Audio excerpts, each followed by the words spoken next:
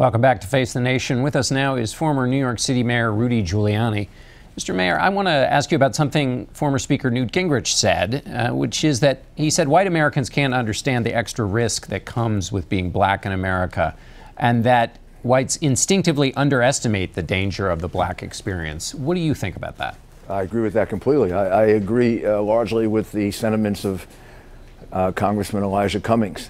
Uh, the, the reality is we have to look differently at race in America if we're going to change this. We've been looking at it the same way for 20 years, and, and here's where we are.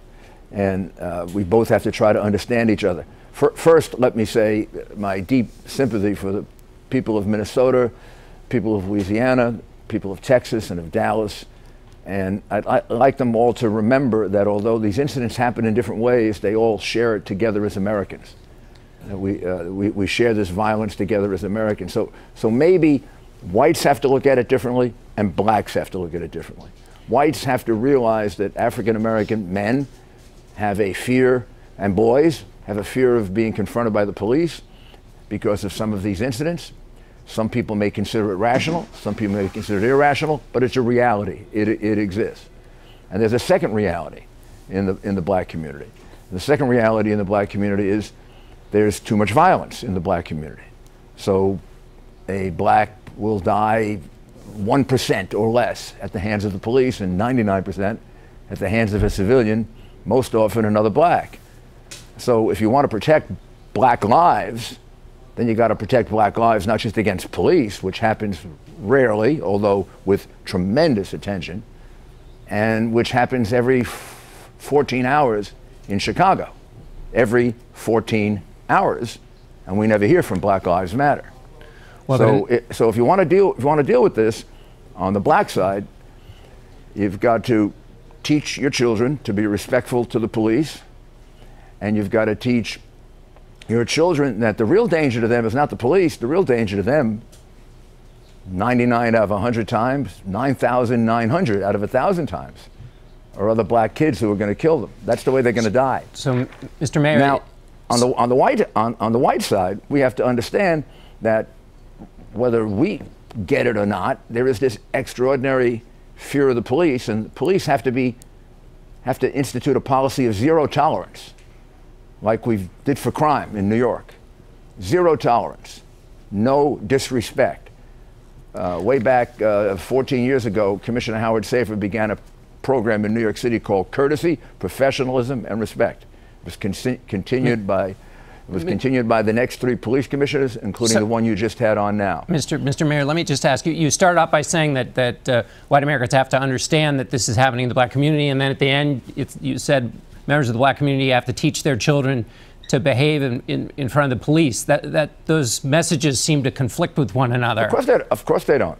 If I were a black father, and I was concerned about the safety of my child, really concerned about it, and not in a politically activist sense. I would say be very respectful to police. Most of them are good. Some can be very bad, and just be very careful. And so, what do police? I'd also say be very careful of those kids in the neighborhood and don't get involved with them, because son, there's a 99% chance they're going to kill you, not the police. And we got to hear that from the black community. And what we got to hear from the black community is how and what they are doing among themselves about the crime problem in the black community. When, when, you know, when there are 60 shootings in Chicago over the 4th of July and 14 murders, and Black Lives Matter is non existent, and then there's one police murder of very questionable circumstances, so, and we hear from Black Lives Matter, we wonder do Black Lives Matter or only the very few black lives that are killed by white policemen, but not Mr. all those black lives that are killed by other blacks. And, and, on the on the black side, what they hear from us is constantly defending the police. Now, I'll give you an example. I had a police officer who brutally attacked a gentleman named Amadou Diallo. That police officer is now sitting in jail for 25 years due to the work of my police commissioner, Howard Safir, and the prosecution of now Attorney General Loretta Lynch. I also had police officers who were wrongly accused and acquitted by a jury, even though mobs were calling for them to be put in jail despite the fact that a jury found them not guilty. So Mr. these are complicated situations, and we have to try to understand each other. Right. The, uh, just a final question, sir. You said that the Black Lives Matter movement has put a target on the back of police officers. When members of the African American community see videos as they have this week, they feel like there is a target on, on young black men. Uh, explain uh, your response about how they put a target on, on police officers, how that When- can match up when people see these videos.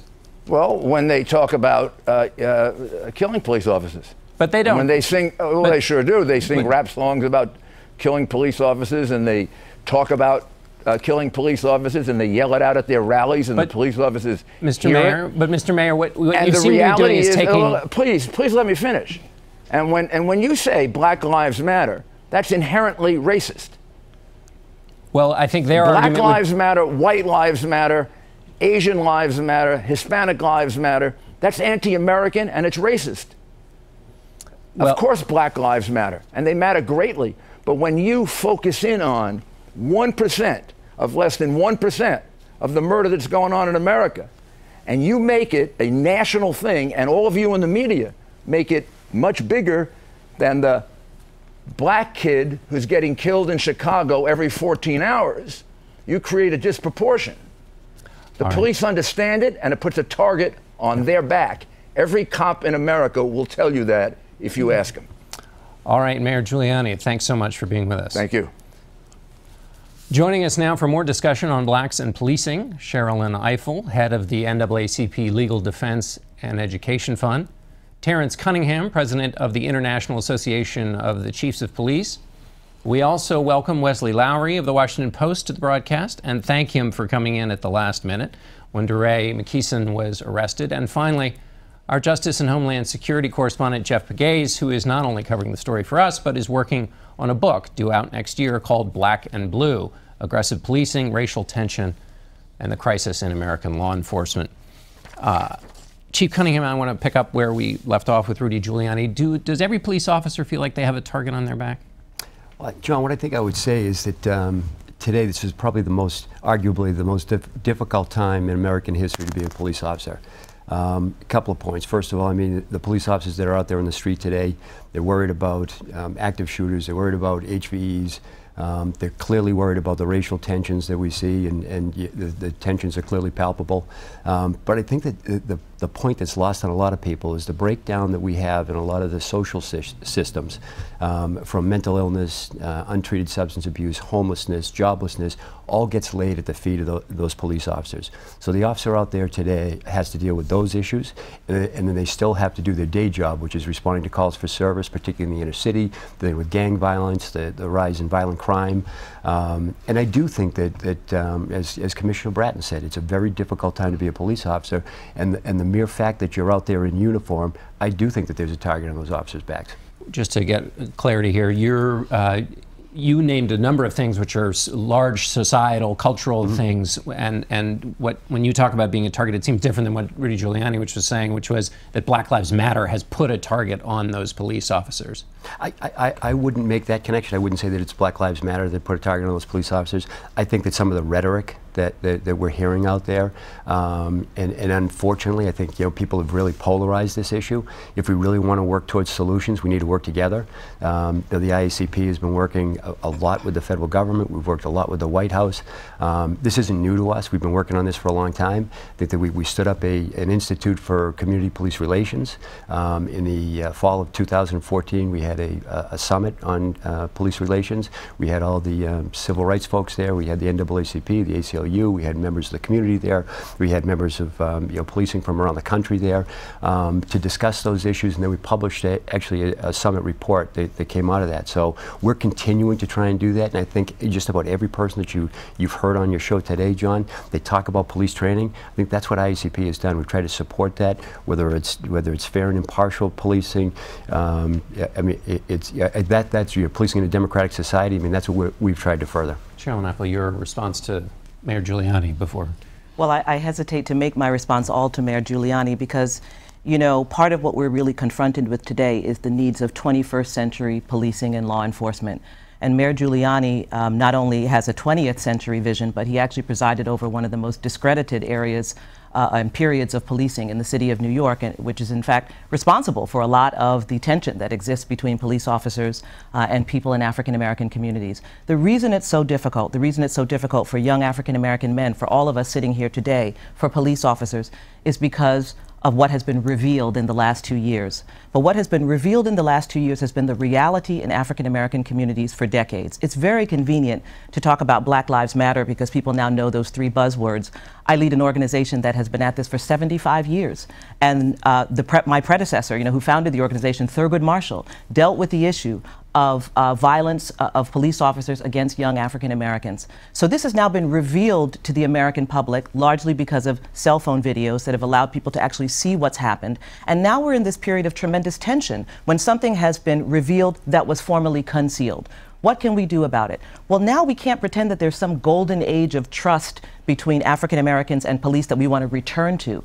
If we're honest with ourselves, we're getting ready to do a new thing. We're creating a policing that never existed before. We're trying to create relationships that never existed before. We're trying to create trust where it never existed before. And what's required to do that is to take a fresh look at what it means to be a law enforcement officer in the 21st century. It means being able to open up communication to communities of color, not to lecture them about how they talk to their kids. Mm -hmm. Parents of African American men and boys are scared to death of their children's encounter with police and encounters with criminality. That happens every day. From every church pulpit, every Sunday, that's what's talked about. In community meetings, that's what's talked about. So when I hear this stuff about, you know, black on black crime and uh, that I heard Mayor Giuliani saying, come into our community, something he has never been quite good at doing, to be perfectly honest, be in our churches, listen to our conversations, attend our rallies when we talk about peace in our own communities. Wesley, let me ask you about uh, uh, DeRay. You've been in touch with his uh, with, with, those his friends. Give us an update on what's happening. Of course, so DeRay McKesson, uh, the uh, activist who's you know broadly linked to the protest movement, who's still in custody in Baton Rouge, where he'd been uh, protesting and demonstrating in solidarity.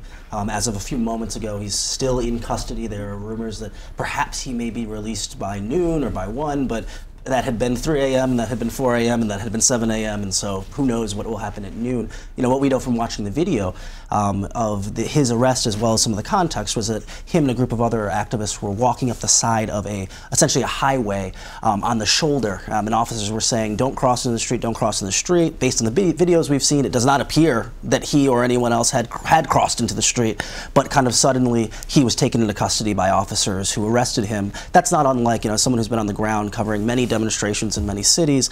That's not something that, it's not unique necessarily. I've seen people picked up on the street that way many times, activists and, and otherwise. Um, Chief, let me ask you a question just about this. You're not here to defend the Baton Rouge sure. Police Department, of course, but give us a sense from your perspective how these things play out. Because one of the things in talking to activists and police is that they have to find a way to accommodate these kinds of protests. They seem to be doing that in Dallas before shots rang out. Is there a new model for how to handle these high tension moments uh, where you have a situation like what happened last night? Now, for, first, I, I, think I would say that uh, as, as, long as any demonstration is peaceful, the police are going to be there to support that demonstration. When, the, when, when it turns from a peaceful demonstration to um, a riotous type of behavior or uh, you know, behavior where the crowd gets out of control, the, and then they have to change their tactics. But I think that I would point, John, as you said, right back to the Dallas Police Department. I think the Dallas Police Department did an incredible job. That, that night when they were there, they were protecting those, those those demonstrators and those protesters' First Amendment right to assemble and to, and to free speech. People talk about this guardian versus warrior, you know, role. I think that was a co complete guardian uh, role that they were in that evening. And then when you watch as those shots started to ring out and those officers started to drop, you saw officers running towards the gunfire to protect those protesters. They had no idea they were the ones being targeted. The police were being targeted. And then you saw other officers actually putting themselves between the, the bullets and the protesters. They, they were human shields to protect those people. And I think that, that that can't be lost on us. I mean, that was a perfect example. And it didn't matter. I saw white officers, I saw black officers, Hispanic officers, males, females. It didn't matter who they were or what they were. They were there to protect those protesters. And I think that's what's important for people to know across this nation. All right, we're going to pause right there. Jeff, I'm going to start with you when we come back about what solutions may be happening, who's doing it right, and how much more we have to do. But for the moment, we'll take a break. We'll be right back.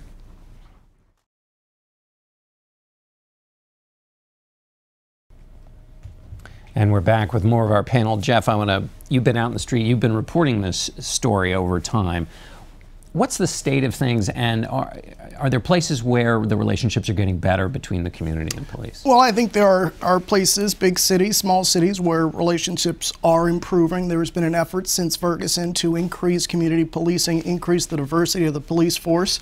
Um, but are still problems that remain. You know, John, we're coming up on two years from Ferguson, and based on what I've seen going out into Chicago, and I was in Chicago without a camera, just an iPhone, recording what people are saying, uh, interviewing people there over the Memorial Day weekend, knowing that that would probably be a tough weekend for Chicagoans. And what I found is the underlying problem is still there. There remains this lack of trust, and and I don't know if if if you increase community policing, that's not going to address the problem. And Why that's why we just- are where we are today. Why isn't it going to address the problem? Because everybody, you hear them just say community policing, it's like body cameras. It's a word that gets thrown out, and we don't really.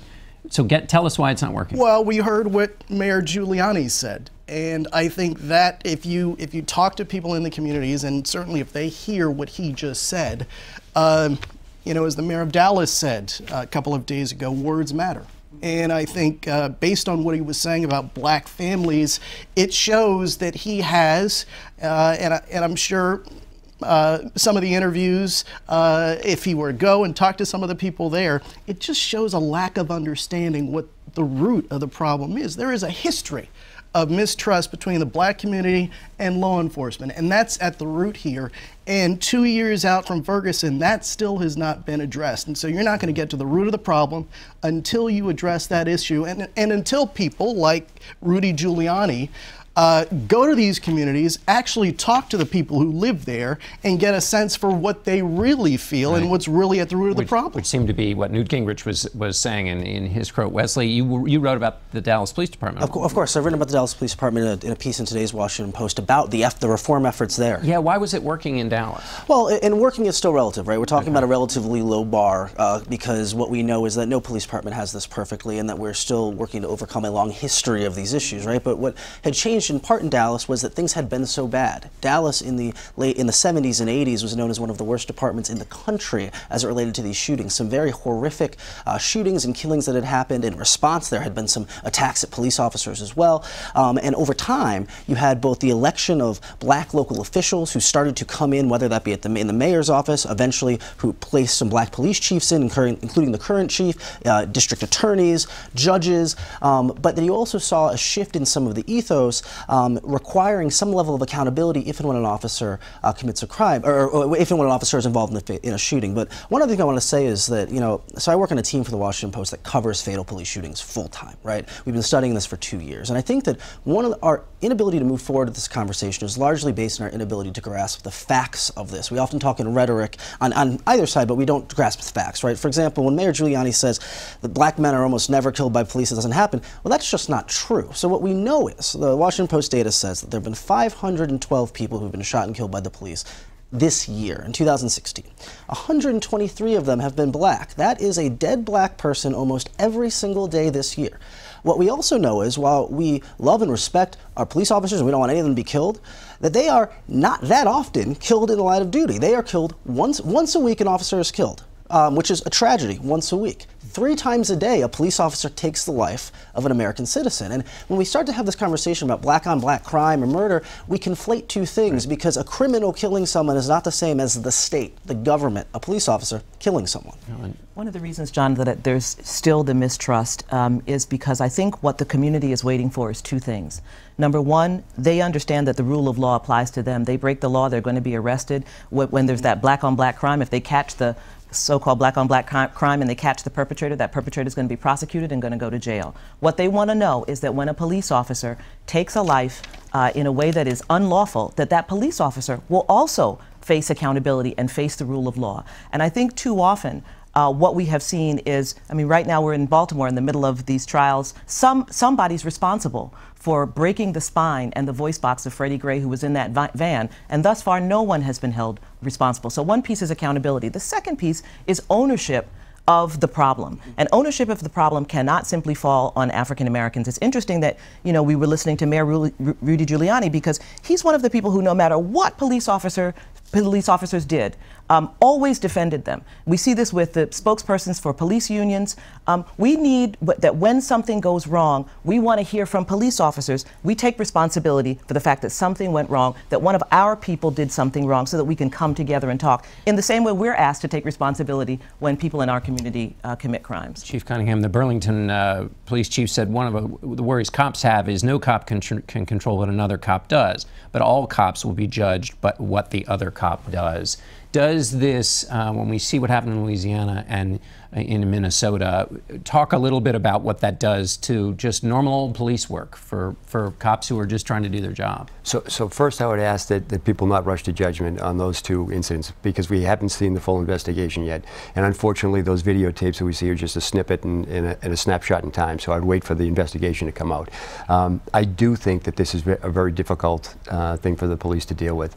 Um, I, I, would like to, John, just for one second, go back uh, and talk about uh, the collection of data in police shootings shootings, because I think that's really important. First of all, I think it's an embarrassment to our profession that, that we, we have to rely on the media to collect that data. Um, the IACP, with all of our partners and stakeholders, have been working with the FBI to come up to develop a platform so that we can capture that data. That is our data. We shouldn't be afraid of it. We should be able to look at it. We should be able to aggregate it, um, take a deep cut into it, and to see what it means, whether or not, we need to change our training, whether or not we need to, um, you know, adapt our technologies and our equipment, whatever it may be. But it's an embarrassment that we don't have that that ourselves to, to deal with. Um, and, and I do think that you know with, with, with these the shootings that we see out there, we need to hold our officers accountable. There's absolutely no question about it. And and I, I think that was Sherrilyn that just said, hey, you know police administrators need to say, you know what, there, there are bad cops. I'm not, I'm not talking about Louisiana and, and Minnesota because I'm, I don't want to rush to judgment there yet, but there are bad cops, and police administrators need to hold those people accountable. All right, Chief Cunningham, thank you very much. We're going to have to leave it there. Thanks to all of you and we'll be right back.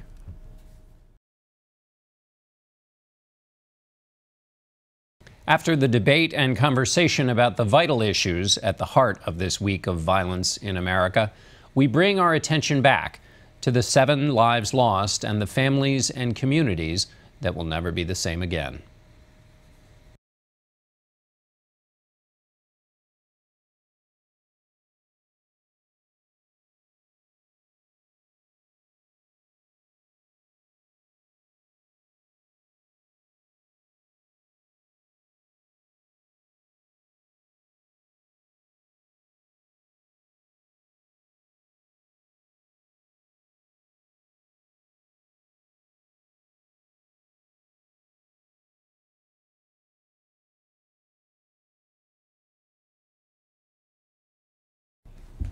That's it for us today. Thanks for watching. Until next week, where we'll be broadcasting from the floor of the Quicken Loans Arena in Cleveland, host of this year's Republican National Convention.